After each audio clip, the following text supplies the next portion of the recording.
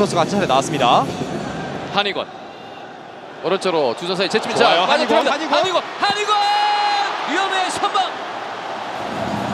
아 엄청난 개인기를 한번 선보이면서 마지막 슈팅까지 시도를 해봤던 한의권입니다 한의권 선수가 왼쪽 측면에서 순간적으로 세 명을 제쳐내면서 오른발 낮고 빠른 슈팅을 시도했는데 이번에는 유현우 골키퍼의 선방이 나왔습니다.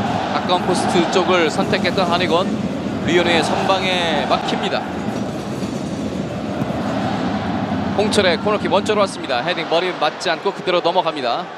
빠르게 따라가서 볼 다툼 펼치는데 오두 선수가 신세계가 볼을 따냈습니다. 그리고 타가. 잘 연결해서 박은행요. 박은행요!